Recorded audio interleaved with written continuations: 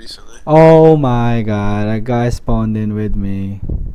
Not on clan. Should I log out?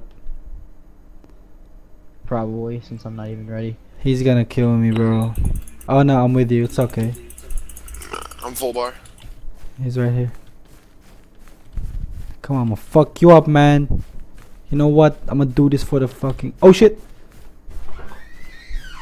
Quick scope!